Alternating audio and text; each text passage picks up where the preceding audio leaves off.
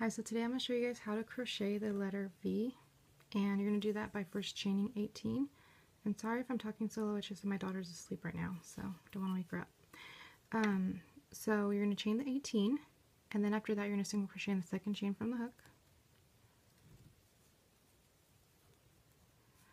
And then once you're done with that um, we're going to single crochet into the next seven chains. So it's one this is two one is three, four, five, six, and seven.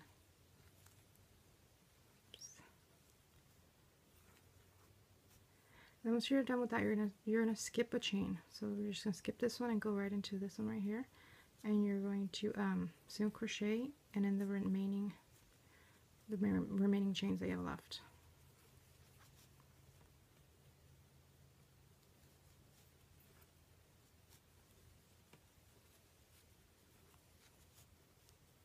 Which should have been eight, just in case you were wondering.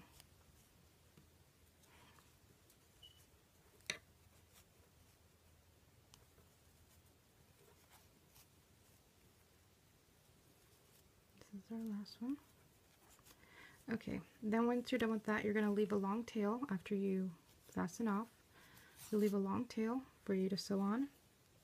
And then after that, you are just going to shape it into your V. And you know, obviously the one that we skipped, the um, chain that we skipped is the one that you're going to want, you know, it's going to be the middle center area. So you can find that and you're just going to shape it into the shape that you want your V to be, the way you want it to look you know, sew it on your project. Once you have it on your project and you're sewing it on, it'll be a lot easier to shape.